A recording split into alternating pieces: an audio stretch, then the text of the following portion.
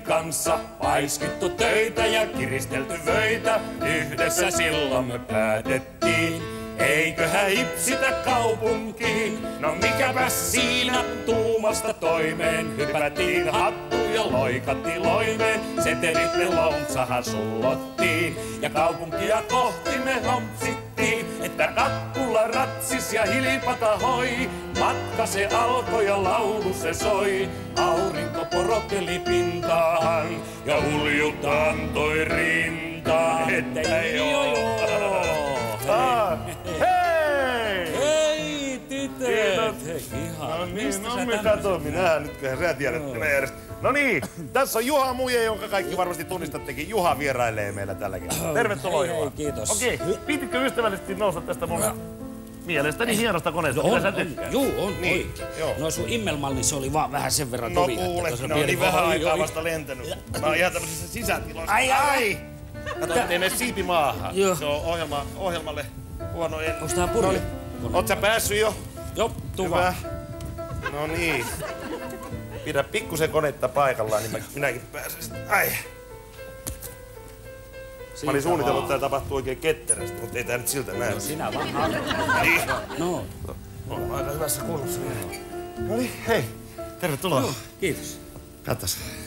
Mitäs tykkää? Kaupungissa nähtiin myös Santra ja Lyyti. Meitä se lyyti, kukahansa pyyti. Lempeä katse siltä lipsahti, että aivan siinä sydänjuoret nipsahti. Ja hotellissa yhdessä juotiin ja syötiin. Lapingasta lattia sitten me lyötiin. Yhteen asti siinä veivattiin. Foksia, sampaa ja sottiisi, että kakkula ratsis ja hilipata hoi. Tanssine jatkuu ja haitari soi. Lempi se porotteli pintahan ja uskoa antoi rintaan.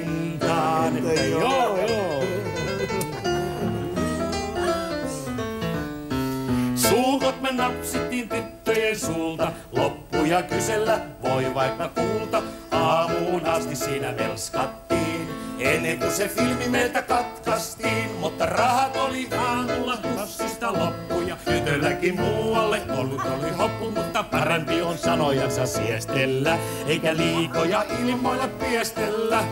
Kakkula ratsis ja hilipata hoi, hiljalle valkeni aamunen koi. Oma tuttu porotteli pintahan ja kaupunsa lykkäsi rintaan, että joo.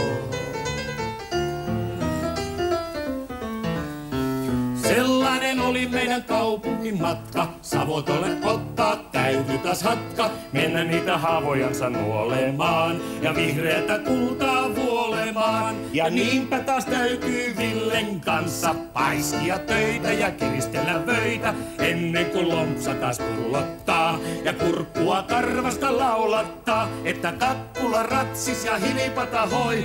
Matka on loppu eikä laulukaan soi. Pistos on tulluna rintahan, se reissu se nousi hintaan, että joo.